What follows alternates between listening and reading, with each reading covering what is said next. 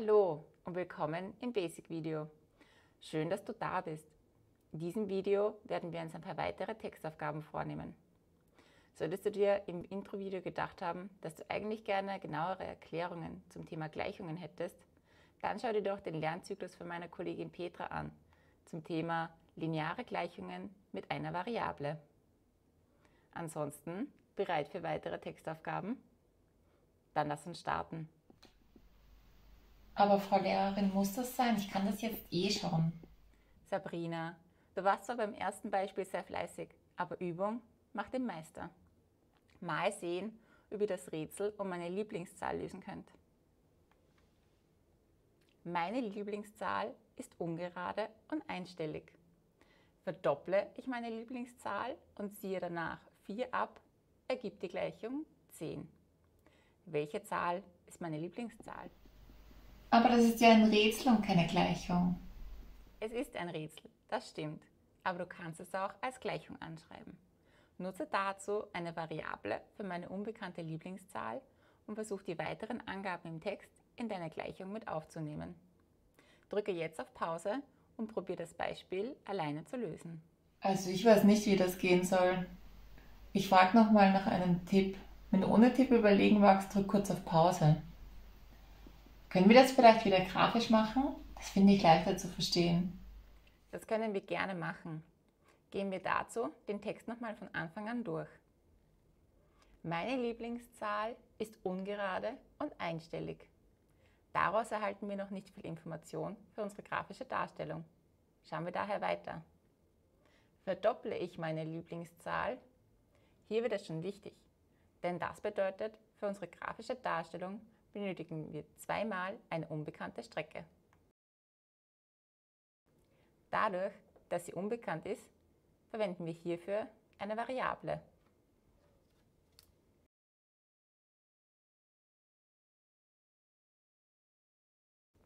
Für meine unbekannte Lieblingszahl habe ich mich für die Variable x entschieden.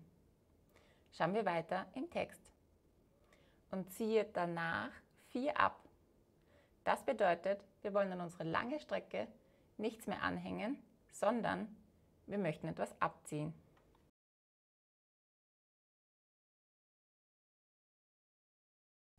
Schauen wir nochmal im Text, dann erfahren wir, diese Strecke können wir beschriften mit 4. Die übrig gebliebene Strecke können wir auch im Text finden. Ziehe ich danach 4 ab, ergibt die Gleichung 10. Das bedeutet, diese Strecke können wir mit 10 beschriften. Kannst du jetzt mit Hilfe der grafischen Darstellung die Gleichung aufstellen? Ich gebe euch kurz einen Moment Zeit, dann vergleichen wir gemeinsam. Drück jetzt auf Pause und versuche, die Gleichung aufzustellen. Sabrina, möchtest du vielleicht verraten, wie du die Gleichung angeschrieben hast? Okay, also ich habe geschrieben 2 mal x minus 4 ist gleich 10. Das habe ich jetzt mitgeschrieben.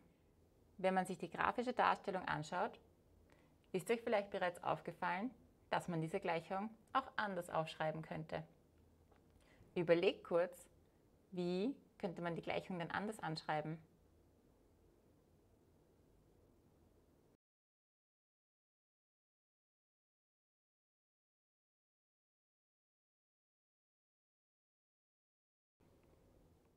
Hast du es so gelöst? Gut gemacht. Jetzt müssen wir die Gleichung nur noch lösen. Dann habt ihr das Rätsel um meine Lieblingszahl gelüftet. Ich nehme dazu die untere angeschriebene Gleichung. Schauen wir uns das genauer an. 2 mal x ist gleich 10 plus 4. Die rechte Seite können wir noch ausrechnen, bevor wir weitermachen. 10 plus 4 ergibt was? Richtig.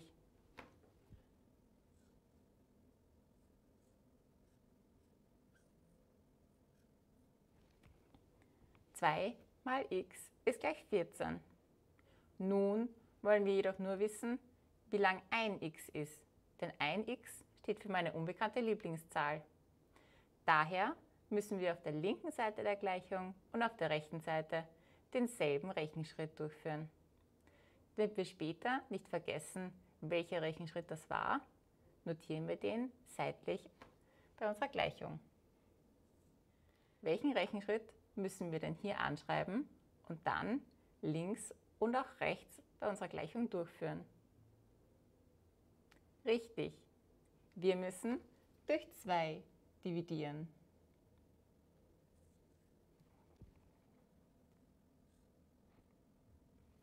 Auf der linken Seite bleibt dann nur mehr das x und auf der rechten müssen wir dividieren 14 durch 2. Das ergibt richtig 7.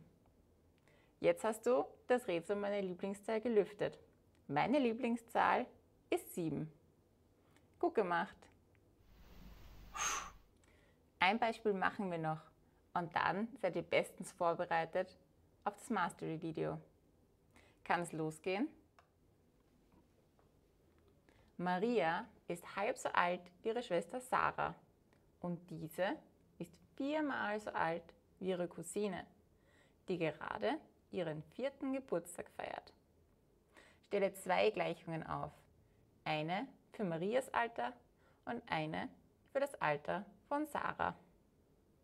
Drücke jetzt auf Pause, wenn du das Beispiel ohne Tipp probieren möchtest.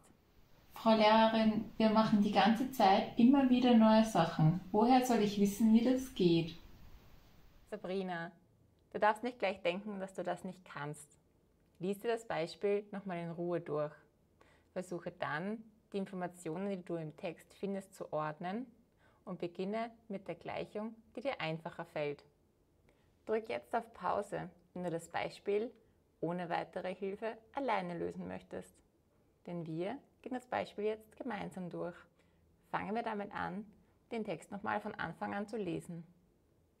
Maria ist halb so alt wie ihre Schwester Sarah. Und diese ist viermal so alt wie ihre Cousine, die gerade ihren vierten Geburtstag feiert.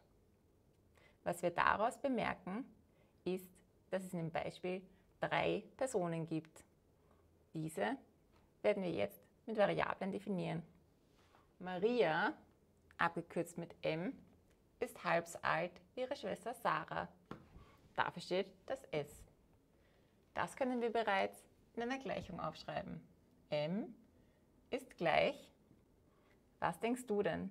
Was sollte ich hier jetzt anschreiben? Richtig. S dividiert durch 2. Schauen wir weiter im Text.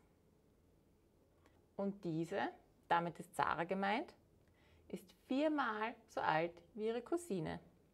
Mit dieser Information können wir die Gleichung für Sarah bereits aufstellen. S ist gleich, was denkst du? Was sollte ich hier anschreiben? Richtig. C steht für die Cousine mal 4. Lesen wir weiter im Text. Wie ihre Cousine die gerade ihren vierten Geburtstag feiert. Das bedeutet, der Text verrät uns bereits, wie alt die Cousine ist. Das heißt, wir schreiben C ist gleich 4. Wenn wir uns das jetzt der Reihe nach ansehen, erkennen wir, dass in der Gleichung von Maria genauso wie in der Gleichung von Sarah sich Variablen befinden. Das können wir noch nicht ausrechnen. Zuerst müssen wir herausfinden, für was die Variablen stehen, um danach unsere Gleichungen lösen zu können. Schau genau, eine der beiden Gleichungen können wir bereits lösen. Welche ist das denn? Richtig. Sarahs Alter können wir berechnen, denn das Alter der Cousine kennen wir bereits. Wir schreiben daher S ist gleich. Statt c können wir einsetzen. c ist gleich 4. Aus der Gleichung erhalten wir mal 4.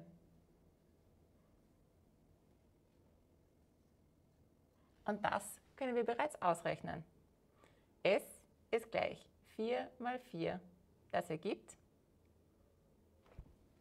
richtig 16. Sarah ist demnach 16 Jahre alt. Können wir jetzt Marias Alter berechnen? Richtig. Dann lass uns loslegen.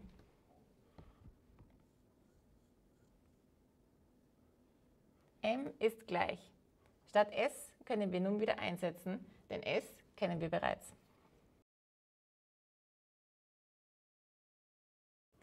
Dividiert durch 2.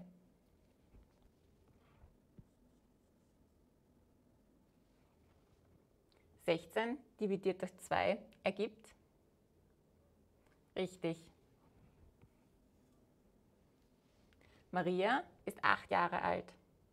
Und so schnell hast du das Beispiel gelöst. Du weißt nun, dass Maria acht Jahre alt ist, Sarah 16 und die Cousine vier Jahre alt. Gut gemacht. Okay, vielleicht war das doch nicht so schlimm. Das war's auch schon wieder. Du hast es geschafft. Klopf dir lobend auf die Schulter. Atme nochmal tief aus. Und dann sehen wir uns im Mastery-Video gleich wieder.